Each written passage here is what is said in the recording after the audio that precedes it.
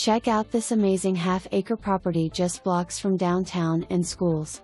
This 3 bedroom 2 bath home offers a large master bedroom with walk in closet and ensuite, fresh paint, remodeled kitchen, new carpet, and wood laminate floors. The yard is beautifully landscaped with an enclosed oasis with creek in the backyard and lots of privacy with wooded area and lush bushes. Enjoy the summer evenings out on your private covered patio. Call for your private tour today.